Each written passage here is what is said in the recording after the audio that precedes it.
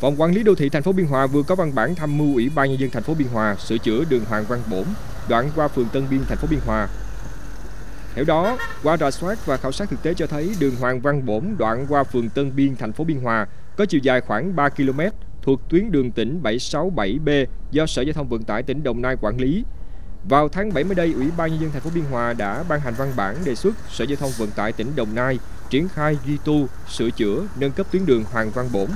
Tuy nhiên đến thời điểm hiện tại, việc duy tu sửa chữa đường Hoàng Văn Bổn vẫn chưa được thực hiện, nên ảnh hưởng rất nhiều đến việc lưu thông và an toàn của người dân khi ngang qua tuyến đường này. Do đó, Phòng Tham mưu Ủy ban nhân dân thành phố Biên Hòa biết và xem xét tiếp tục báo cáo đề xuất Sở Giao thông Vận tải chỉ đạo thực hiện các nội dung như đã nêu trên.